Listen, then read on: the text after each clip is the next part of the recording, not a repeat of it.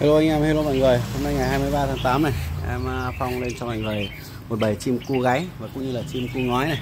Bành quên yến phụ trò màu đấy Đó. Đây, đây. mi khiếu nữa này Hàng thuần có nhé.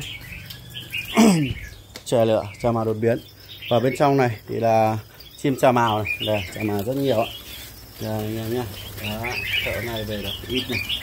Ừ, Được khoảng gần trăm con thôi. À, và trong này đây nữa là chim khiếu bằng má này. Đấy, họa mi nữa nha mọi người nhé đây khiếu bằng má đấy. Hàng này cũng mới về nha mọi người nhé Đấy, chè than nữa này.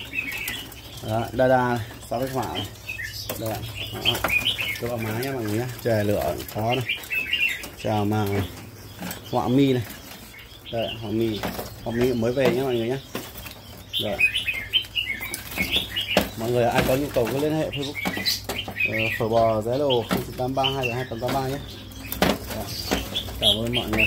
Luôn ờ, quan tâm theo dõi và quý những tư tưởng ủng hộ. Chúc mọi người thật nhiều sức khỏe